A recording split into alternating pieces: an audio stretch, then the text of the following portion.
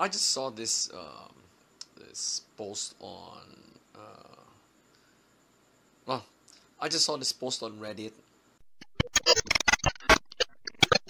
and well, someone has to come up with that idea. All right, it's yeah. You know what? People uh, these days uh, uh, borrow phones like like it was nothing, right? Like it was nothing. Twenty years ago, when uh, when yeah, when the cell phone the cell phone already matters. Twenty years ago, but we never um, we never borrow our we never we never uh, we never lend our phones to anybody anybody else even if it's even if it's our relative a friend nope no can do you don't have your cell phone? Bro you're done for the day. You're done for the day. But what am i getting here? What am i getting at here reddit? Well simple phones should have a guest mode right? So that in the event that you really need to borrow uh, you really need to uh, to lend your phone to someone like in the post said it'll hide all your data all your images all your content from that person. All right it's going to be um, it's going to be a breakthrough idea when uh, when someone comes up with a phone that has this. All right maybe they should combine that with the um, with the privacy of blockchain it'll be more secure. Don't you agree? So here's my power tip for you reddit. Ideas that well that um, that help us guard our own private data should be supported. All right? Support safe technologies right let me repeat that support safe technologies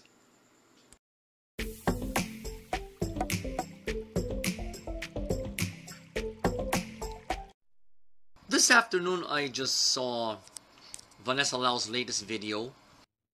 20. You know, I posted a few videos and I already got 20,000 followers. And she was, um, basically she was um, telling her viewers what her social media strategy, what her social media strategy will be in 2021. But here's the thing with Instagram. Here's the thing with Instagram, Reddit. In IGTV has disappointed me. Over the past month or so, I could not upload any videos to IGTV. It always fails. Wala namang problema sa internet connection namin. Okay? But I consider it a blessing in disguise. Right now, um, Vanessa Lau's social media strategy, well, particularly for Instagram, um, says that we should maybe we should uh, concentrate on reels. Well, I'm in the Philippines, so reels isn't available. Now, what am I driving at here, Reddit? Simple. If it weren't for um, IGTV constant now constantly snubbing my uploads. I wouldn't be given the chance to um to make the diaries there exclusive content. Yep, you heard me guys. You heard me. I now have the chance. Well, I've been um, I've been I've been capitalizing on it. Instead of um, posting it to IGTV as usual, I now post it as stories. Right? Because well, only your followers will only only only your followers will see your stories. Bottom line. So why continue to post on IGTV where everybody where everybody on Instagram can see it. Right now, I am more than willing to make the diaries exclusive content. Why? Because it holds my ideas, it holds my um, my views of the world, my aspirations, my goals, right? And as much as possible, only my followers on the, on the different platforms should see it. Okay? You guys are the only ones who should see this. But it's okay if you want to share it. I'm down with that. But for me to actually share the entries, for example, I posted on Reddit a diaries entry. I am not going to share it anywhere. But you can. Right? You, the viewer, can. So here's my thought. Here, here's my power tip for you, Reddit. Add value to your followers with exclusive content. There is actually no need to to expose yourself to the entire world on your public feed or your public profile for that matter. You got to show you have to um treat yourself with a little respect every now and then. The best way to do that on social media is by giving your current following exclusive content. So right now, the diaries is exclusive content. If you follow me here on Reddit, you will see this here. Not anywhere else. Except for YouTube, alright? Yeah. I gotta do that. so again, my power tip. If you want to add value, create exclusive content.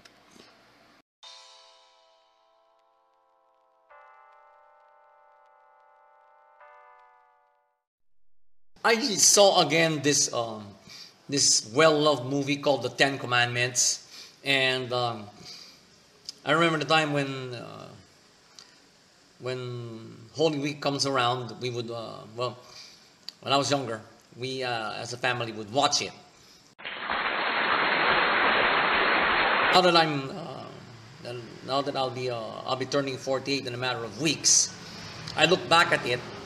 Well, I remember every scene in that movie, so I, I don't have to watch it again. But um, this uh, makes me uh, makes me remember uh, the lessons you could apply from uh, from watching that movie. Right? It's a classic. It's a classic movie. Well, the number one lesson there that you will you'll learn is um, leadership.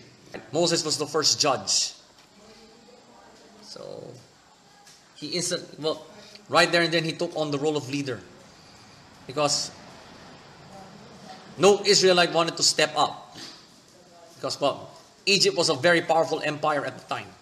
They well, Egypt Egypt was an empire at the time, right? no one could uh, no one could stand up against them. Much less uh, much less a slave race of the, much less a uh, a race of slaves at the time.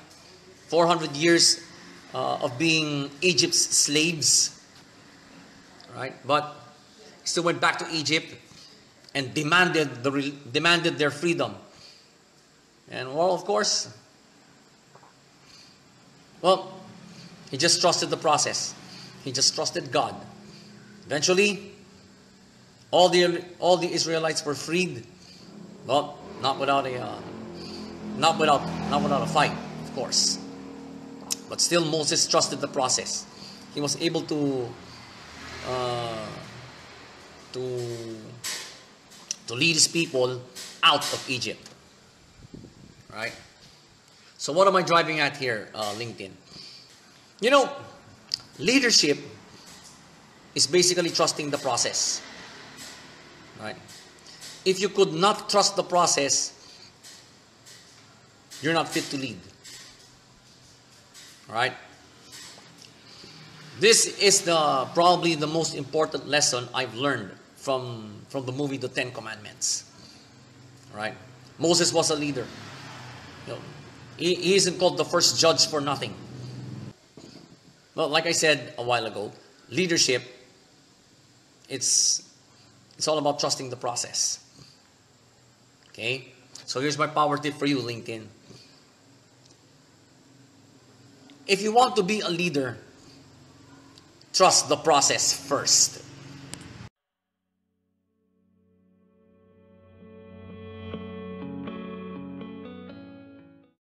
I'm gonna talk about this um, uh, this post on Instagram that I uh, uh, that I saw,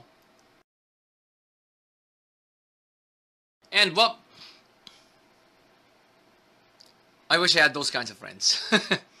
All right, I wish I had those kinds of friends. Grinding for your brand is uh, makes it a lot harder if your relatives are um, well are aren't into it. They know you're they know you're building a brand, but they're they're not willing they're not willing to help you. All right, that's where that's where friends come in. Okay? That's when friends should come in. Looking at my uh, my current roster of friends,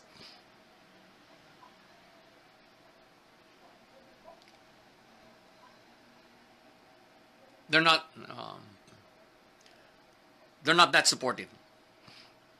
All right, they're not that supportive. So technically, I'm all alone on this. All right, but what am I driving at here, Instagram? That post uh, is loud on clear on something. If your friends um, can't support or even can't agree with what you're um uh, with what you're doing for yourself, you might as well switch friends. You might as well revise your circle of friends. Right? Nothing can be truer. Right? Nothing can be truer. If they can't um uh, if they can't spread the word about your brand, your advocacies, your business, your career, you might as well avoid them all throughout and focus on what matters your brand, your business, your career, your life. So here's my power tip for you, Instagram. Always have at least one like-minded friend in your circle. So let me put that in short terms. A like-minded friend is all that matters.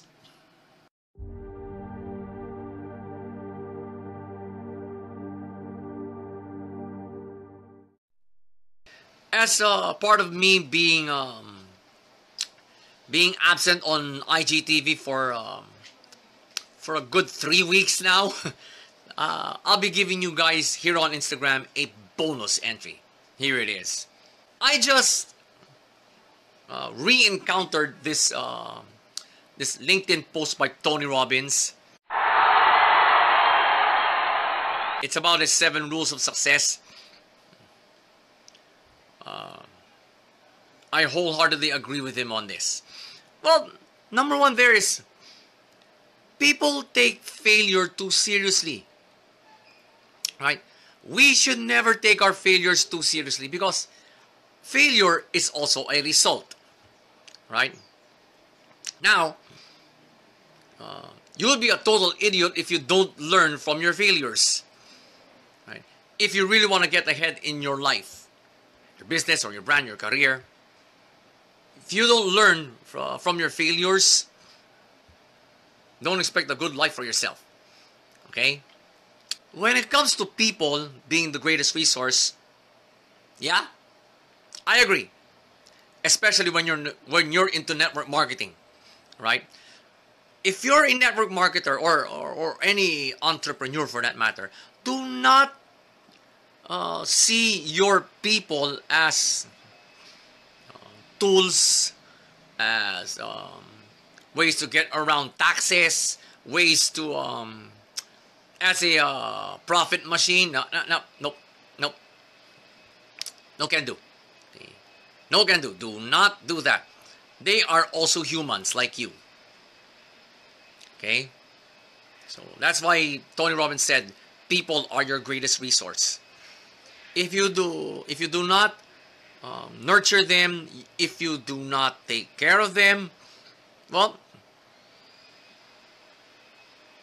they will leave you for another group or another company. All right? Tony Robbins' seven rules of success can be applied anywhere. All right? Uh, it can be for a traditional business, it can be for a franchise, for, it can even be for your career. Whether you're a doctor, lawyer, or, or, or even a priest, you need people to help you run your life. Right? And well, uh, in the world of network marketing, his seven rules of success should be gospel. Right? If you're a network marketer, I strongly suggest you follow these seven rules. They're so basic. They are so basic. So here's my power tip for you, Instagram. Follow these seven rules of success to the letter. Um, then you will see the results you want. In short, learn from the master.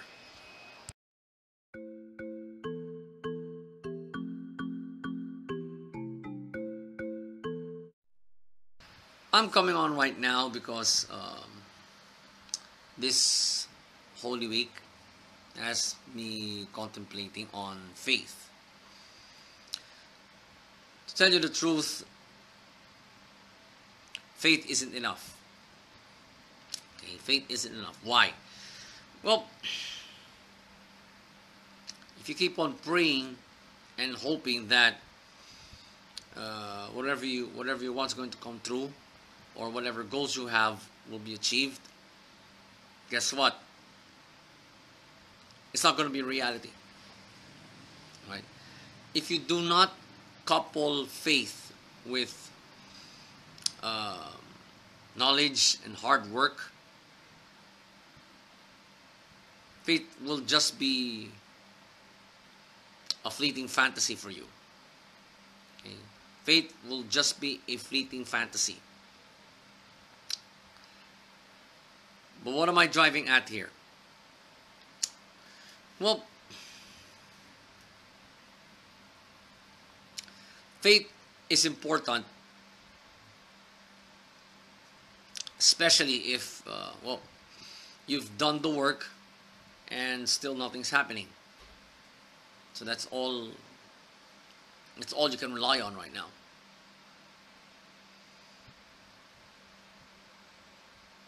I've gone through that, and I'm and I'm and I'm going through that right now. So well, here's a power tip. Faith is all that matters if and only if you have done the work. Right? in short, unless you've done the work, faith isn't enough.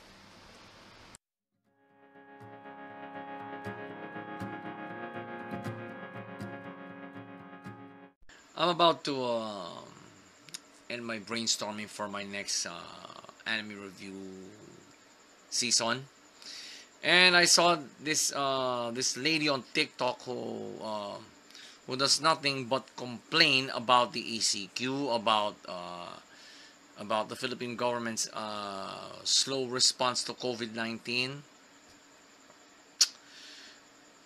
Hindi ako daw hindi ako daw gagawa ng ganito for my uh, as a as friends only content, but I just couldn't resist.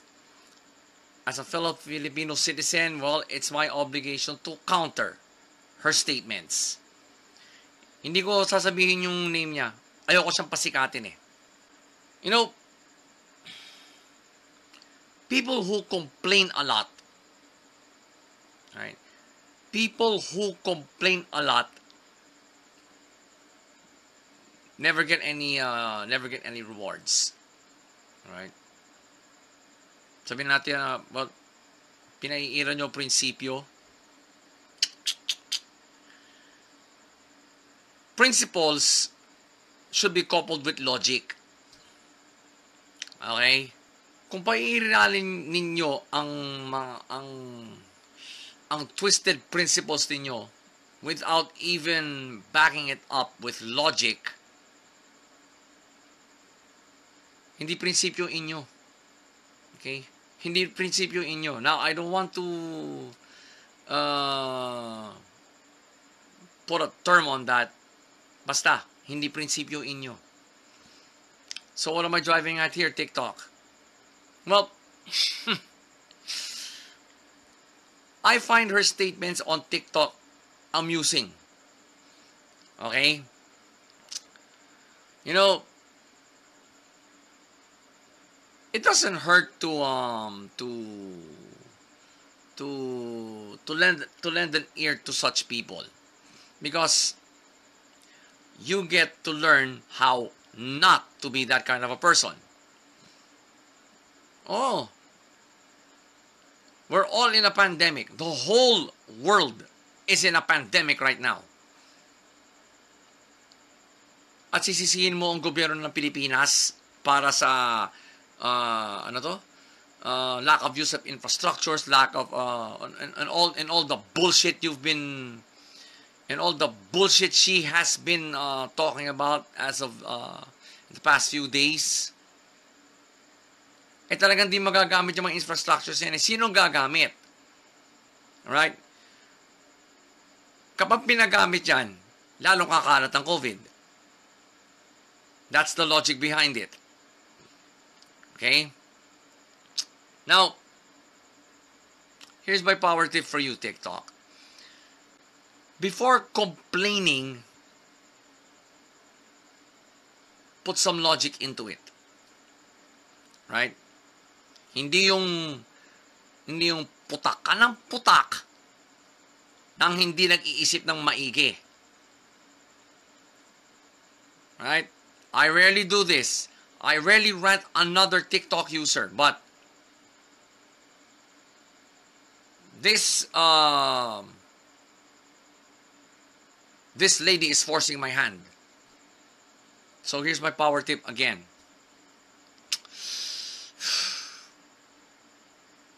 Complaints aren't valid if there's no logic behind it.